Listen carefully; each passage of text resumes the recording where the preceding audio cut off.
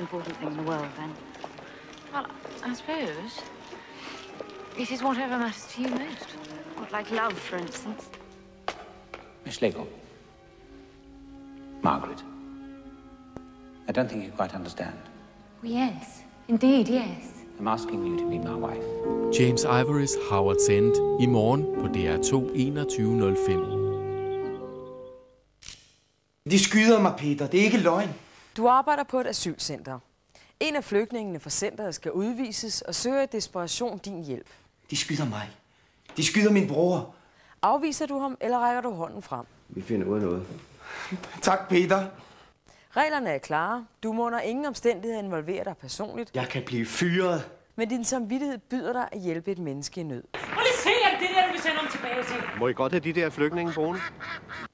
Vi har brug for jeres hjælp til at løse dette dilemma i morgen kl. 20, hvor vi sender direkte her på DR1.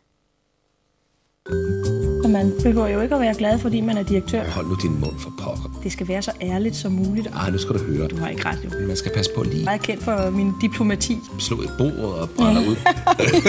Velforsørget.